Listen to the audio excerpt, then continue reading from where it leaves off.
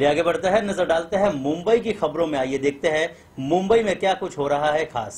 विख्यात कामगार नेता अभिजीत राणे का वर्चस्व लगातार बढ़ता जा रहा है।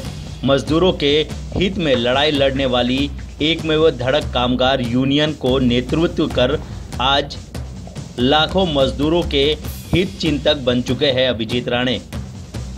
कांदिवली पूर्व स्थित ठाकुर कॉम्प्लेक्स में धड़क ऑटो टैक्सी चालक मालक यूनियन जनसंपर्क बंधु बेहद खुश नज़र आए। धड़क की शाखाएँ लगातार अब बढ़ रही है। खासकर बात करें तो ऑटो और टैक्सी चालक मालक अब तक 5000 से अधिक जुड़ चुके हैं।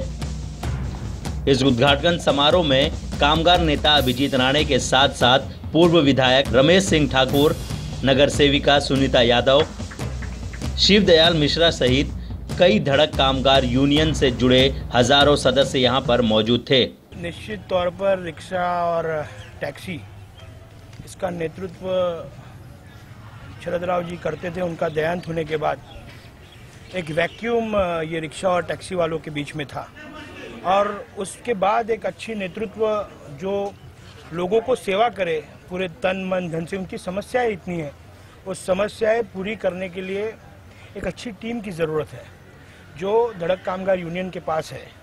और मुझे पूरा विश्वास है हमारी मुंबई में जो कार्यरत टीम है जिसके प्रमुख विजय जी है शिवदयाल जी है गुड्डू जी है उनके नेतृत्व में पूरे मुंबई में यहाँ पर बांद्रा से लेके दहीसर तक वहाँ पर सायन से लेके थाना तक एक बहुत बड़ी नहर आपको देखने मिल रही है। लगभग पिछले तीन महीने में पाँच हज़ार से अधिक हमारे रिक्शा ड्राइवर, चालक, मालक हमारे सभासद बने हैं। टैक्सी वालों में भी उतनी ही क्रेज है जितनी रिक्शा वालों में है। टैक्सी वाले लगभग आज दो अढ़ाई हज़ार के आसपास पहुँचे हुए हैं। उनकी सबसे बड़ी समस्या जो है वो उबर ओला टैक्सी के वजह से है। निश्चित तौर पर आने वाले समय में उबर और ऐसे प्राइवेट टैक्सी ऑपरेटर्स जो है, उनको हम सही राय देने की कोशिश करेंगे। अगर हमारे काले पीले टैक्सी वालों के ऊपर अन्याय होता है तो एक बहुत बड़ी लड़ाई ये उबर और प्राइवेट टैक्सीज के खिलाफ हम खड़ी करने वाले हैं। ये एक शुरुआत है। अभी ये हमारा संगठन बन रहा है, बढ़ रहा है। और आने वाले समय में महाराष्ट्र में आम्ही सगळे कामगार चळवळीमध्ये काम करतो। कामगारांसाठी काम करतो। का हाथावरती जो हाथ पर काम करने वाले लोग हैं, उनके लिए हम काम करते उसमें से एक ये यूनिट है।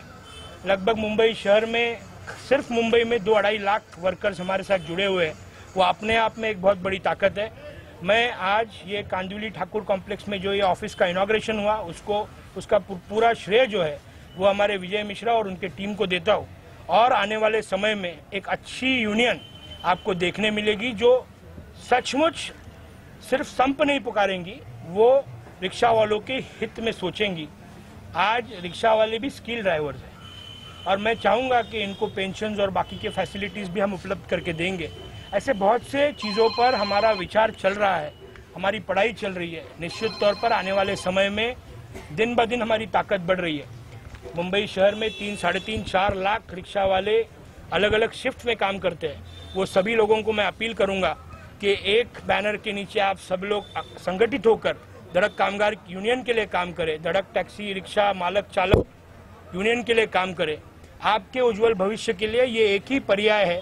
निश्चित तौर पर यूनियन आपके सेवा में खरी उतरेगी जी रिक्शा चालकों का सबसे बड़े जो इन्होंने आज ऑफ़िस यहाँ पे खोला है, मुझे बहुत अच्छा लगा, क्योंकि हम लोगों को बहुत सी समस्याओं का सामना करना पड़ता है। ऐसे नगर सेवक हमारे पास सारी समस्या आती है, न कि सिर्फ़ बीएमसी के वर्क वर्क के अलावा बहुत सी ऐसी समस्या जो लोकल होती है, वो हमारे पास आती है तो हम लोग, रिक्शा वालों के जो सब्जेक्ट रिलेटेड होता है तो हम सोचते हैं कि हम किससे कांटेक्ट करें? तो इनका कौन अध्यक्ष होगा, कौन क्या होगा तो ये सब पता नहीं होता तो हमको पता करके कहीं और कांटेक्ट करो वाया वाया जाना पड़ता है। एक अच्छा ज़रिया ठाकुर कॉम्प्लेक्स में इन्होंने खोला है तो हम, हमको एक इजी वे मिल गया है कि अपनी समस्या इनको बताएँगे तो हमारे जल्दी सॉल्यूशन हो। लोगों के सॉल्यूशन को हम फटाफट सॉल्व कर देंगे। कार्याध्यक्ष बनने के बाद हम लोगों ने जिस हिसाब से जवाबदारी राणे साहब ने दिया, उस हिसाब से अभी एक दूसरा कार्यालय का हम लोगों ने ओपनिंग किया और दो चार से पाँच हज़ार मेंबर मेंबर लोगों को जोड़ के और सारे लोगों का परमिट का अभी साहब ने आपको बताया। तो उस हिसाब से हमारी यूनियन साहब का सहयोग से मिल के पूरा हम लोग रिक्शा टैक्सी के से हम लोग सहयोग करके उनको दे रहे हैं। जो ने बुलाया था, हमारे इधर जो ऑटो स्टैंड था, रिक्शा का काम था, आपको मालूम नहीं होगा 20 साल में वहाँ पे स्थानिक रहवासी हूँ, आज नगर सेवक हूँ। 20 साल में हमारे यहाँ कभी भी ऑटो की लाइन नहीं लगती थी। हमेशा मारामारी होती थी, ये करना, वो करना, आगे पीछे जाते थे। लेकिन आज हमारे यहाँ जो मिश्रा जी हैं, उनके सहयोग से पूरे यूनियन की सहयोग से हमारे लोखंडवाला में और क्रांति नगर में एक अच्छी लाइन बनी कि लाइन से हिसाब से हर ऑटो में तीन तीन आदमी बैठ के जाते हैं।